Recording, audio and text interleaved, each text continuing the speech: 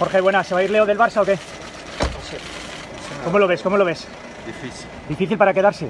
sí, ¿Y el Manchester City es una buena opción? no sé, no hay nada todavía. No, hablasteis con Pep, dijo que quizás era mejor que quedaseis en el Barça. No hablé con Pep. ¿No hablasteis con Pep? No, con nadie. ¿Y cómo ves el futuro en el Barça? Difícil. Difícil. Gracias.